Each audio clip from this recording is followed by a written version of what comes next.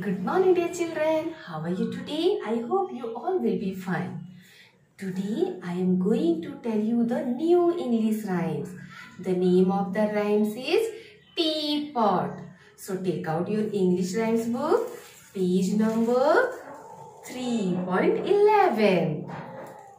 Teapot. I am a little teapot, short and stout. This is my handle and this is my spout.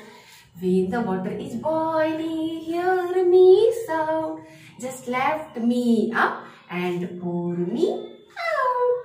Let's do with once more. Okay. I am a little teapot, short and stout.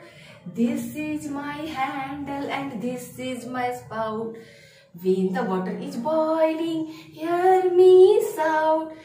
Lift me up and pour me